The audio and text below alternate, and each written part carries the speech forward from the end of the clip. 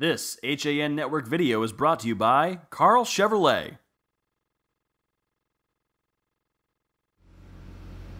Do not be fooled. This is not the Brady Bunch we have gathered here. It's the girls' indoor track team. And yes, there are one, two, three, four, five, six of them that have come out and joined Bill Bloxam and myself. I'm Rob Adams on the HAN Network. Let's let them all say hello to you. What's your name? Hi, I'm Roey Mappa. They handled it so well, by the way, during rehearsals. I'm Hannah Dougherty. I'm Catherine Jacobi. I'm Hannah Keating. I'm Brienne Collier. I'm Lizzie Kilcullen. All right, I promised Roey I wouldn't start with her, which is unusual because I normally start with the person standing right next to me. Hannah, I will start with you. Tell me about this team. Um, so it's like a very big team, and we have like a really good sprinting program and a really good distance program, and we're just very excited for the season and to see what comes. Now, what do you run? I run mid distance, so yeah. All right, Roey, you're up.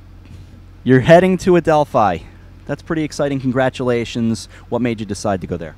Um, well, at my overnight, I really liked the team and the coach. They were very welcoming.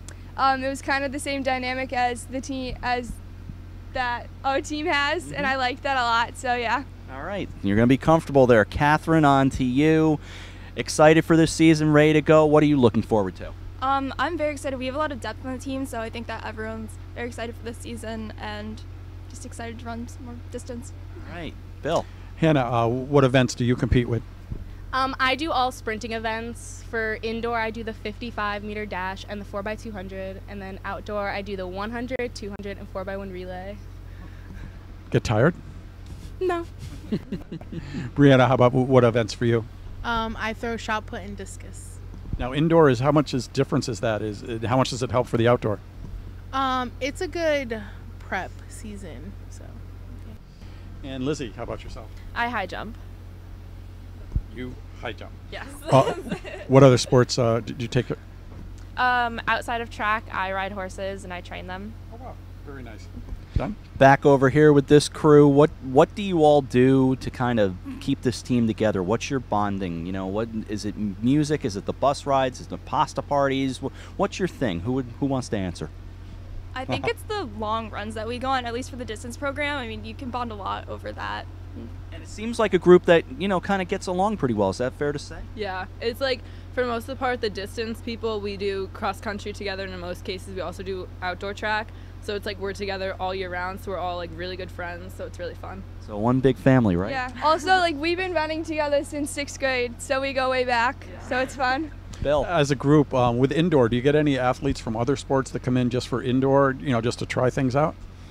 Mm, I think so, yeah.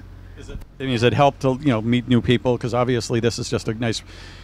We consider it a prep for the outdoor season, but I'm sure you guys think of it as, hey, this is you can stand on your own. It's definitely important to have come in. I mean, there's freshmen that are in that are like, hey, let's throw this ball that's really heavy. What's it like now being one of the uh, upperclassmen? You know, dealing with the youngsters.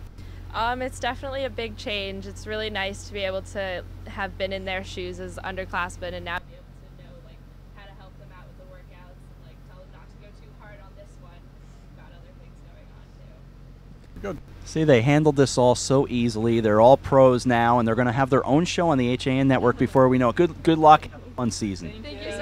Nice to be joined by the girls' indoor track and field team here at Fairfield Warde High School. You'll see the Mustangs throughout the season. We're happy they're here on the HAN network.